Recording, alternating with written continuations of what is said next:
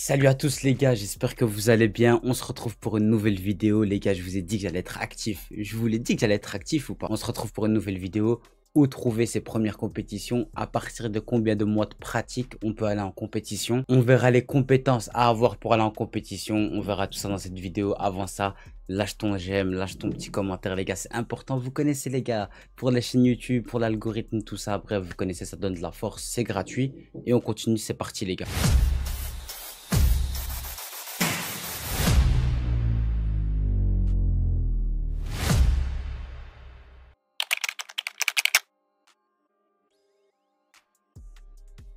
Alors déjà, pourquoi c'est important de faire des compétitions en tant qu'athlète de jiu-jitsu brésilien, que vous venez de débuter ou non? C'est super important de faire des, compétitions. Pourquoi? Parce que l'entraînement, c'est très très bien. Il y a des gars qui font que des, que des sparring à l'entraînement, ils font que de l'entraînement et ils ont un super niveau et euh, c'est pas du tout, euh, c'est pas pour les dénigrer. Mais faire de la compétition, ça va vous aider à euh, réellement voir les problèmes et les trous dans votre jeu. Lorsque vous êtes à l'entraînement, bah, vous restez un petit peu dans votre zone de confort. Vous combattez toujours avec les mêmes personnes. C'est toujours les mêmes partenaires d'entraînement. C'est très rare qu'il y aura une personne qui va vous surprendre avec un mouvement parce que vous connaissez tous vos gars, c'est vos potes les gars. Donc à un moment donné, vous vous connaissez tous. Et même l'intensité du combat n'est pas la même. Donc c'est super important d'aller faire des compétitions. C'est vraiment se tester, se challenger. Vous allez remarquer que les compétiteurs, ils ont toujours euh, un niveau, enfin pas toujours, là j'exagère, mais en général, ils ont un niveau au-dessus des non-compétiteurs. Pourquoi? Parce que le, compétiteur va s'entraîner euh, quelques mois et ensuite il va aller en compétition. Quand il va aller en compétition, ben, il va voir que en fait sa trajectoire d'entraînement ben, elle correspond pas vraiment à ses réelles faiblesses.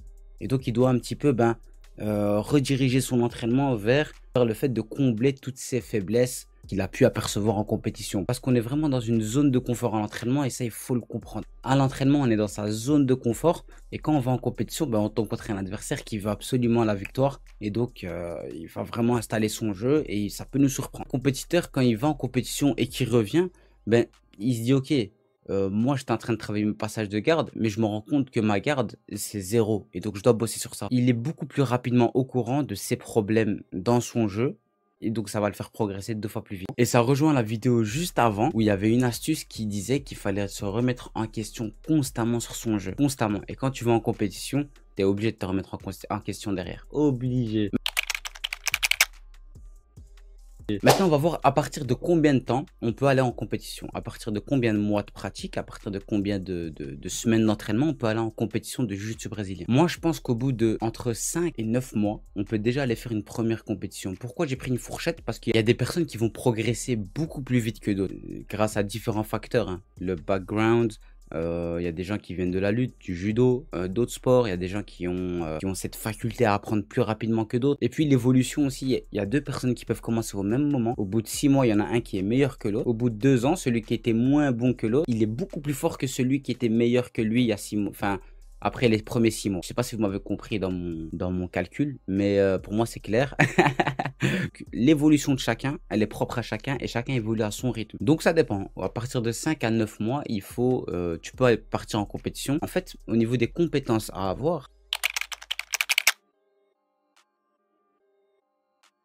voir. Là, on va, va, vraiment parler des compétences. J'estime que tu peux aller en compétition quand tu sais sortir de toutes les positions les plus communes. Quand je dis sortir des positions les plus communes, c'est side contrôle, position montée, position du dos, euh, demi-garde. Donc ces quatre points-là. Et, je suis un ouf. Oh là. Et la garde fermée, les gars. Donc ces cinq points-là, garde fermée, demi-garde, montée, side control et le dos. Et le dos. Donc ces cinq points-là, les gars. Et ces cinq points-là, il faut savoir sortir. Il faut savoir au moins une sortie. Si vous savez sortir de ces cinq points-là, c'est déjà très très bien. Vous êtes déjà vous avez déjà fait un grand pas. Maintenant, il va falloir attaquer. Après, moi, je, préconise qu'il faut connaître un ou deux passages et un ou deux renversements. À partir du moment où tu as un petit fil conducteur quand tu es dos au sol et que tu as un petit fil conducteur quand l'adversaire est dos au sol, tu peux aller en compétition. L'objectif, c'est pas d'être le meilleur du monde. L'objectif, c'est d'aller en compétition, de voir sur quoi il faut rebosser derrière. C'est vraiment ça l'objectif. La médaille, faire une première place. Pour vos premiers championnats, les gars, c'est pas important. Ne vous concentrez pas sur la médaille. Ne vous concentrez pas sur la médaille, ça sert à rien. Et ça va vous permettre, ça va vous permettre d'aiguiser encore plus votre jeu.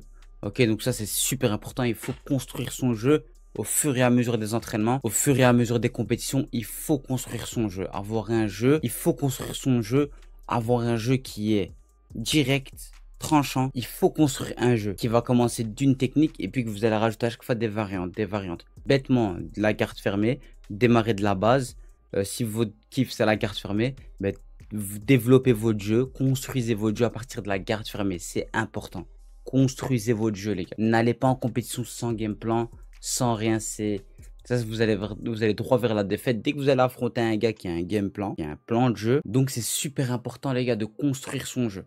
Ok, super important de construire son jeu. J'ai sorti une vidéo, les gars, dans le guide pratique du jiu brésilien. Explique comment construire son jeu. Et en plus de ça, si vous avez des questions, j'y réponds directement sous la vidéo ou bien on a un chat privé entre nous pouvez m'envoyer un message en privé ou dans le chat commun. Je vous répondrai, je vous aiderai à construire votre jeu, les gars. Ce guide-là, c'est votre guide, le lien dans ma bio. Donc, pour vos compétences à avoir pour aller en compétition, maîtrisez les bases. Les 5 sorties, une attaque ou deux attaques d'en bas, une attaque ou deux attaques d'en haut. Et aussi, les gars, sortie de soumission, c'est important. Sortie de, la clé de bras, sortie du triangle, sortie de l'homoplata peut-être, mais pas, non, c'est pas très fréquent ça en fait. Clé de bras, triangle, c'est souvent ça, clé de bras, toujours coude fermé, toujours triangle aussi, ne laissez pas votre bras toujours les deux bras à l'intérieur. Voilà, toutes ces choses-là. Sortie du triangle, sortie de la clé de bras, sortie de la side control, sortie de la montée, sortie de, du dos, sortie de la demi-garde, sortie de la monte. Ces sept points-là, ils sont super importants. Et les gars, je fais une petite parenthèse. Si vous voulez apprendre des techniques, les bases en tout cas, de manière efficace avec un vrai suivi, il y a le guide pratique du jiu brésilien et du grappling parce que ce guide est axé pour, le, pour les combattants de jiu brésilien mais aussi pour les grappleurs.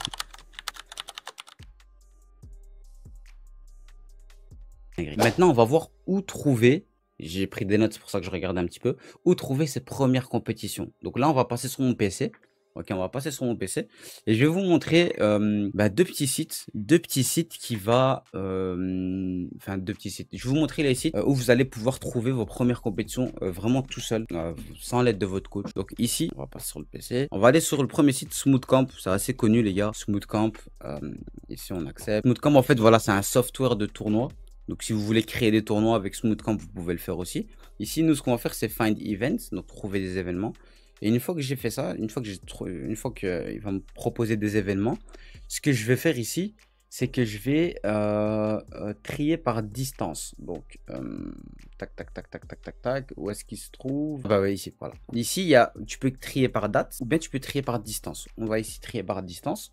Et ici, moi, je, moi les gars, j'habite près de Bruxelles. Donc ici, vous voyez directement, ben, il me propose Bruxelles Open, Grappling Industries à Bruxelles. Il y a beaucoup de compètes. Hein. Bruxelles, euh, Grappling Industries, Bruxelles, voilà. Pour s'inscrire à une compétition, euh, voilà, ici, il y a le championnat de Belgique, par exemple, ben, on clique dessus, euh, on clique sur euh, register, donc s'inscrire. Ici, il va falloir créer un compte. une fois que vous avez créé un compte, ben, il faudra juste suivre les étapes. Donc ça, c'est assez rapide, c'est assez simple. Donc, donc voilà, ça c'est le premier site, les gars, que je vous, je vous propose. C'est Smooth Camp. Ensuite, les gars, ben, vous pouvez aller tout simplement sur les sites. Ici, on va, on va repasser sur mon PC. Ici, on, peut voir IBJF. Hop, on va sur le site IBJF. On va dans calendrier. Voilà, IBJF, c'est la, la, la, la plateforme numéro 1 euh, enfin la plateforme là. Fédération numéro 1 les gars. Voilà, ici vous voyez tous les événements. C'est beaucoup aux États-Unis, euh, Dallas, euh, il y, a un petit peu au Brésil, mais c'est beaucoup Los Angeles, etc.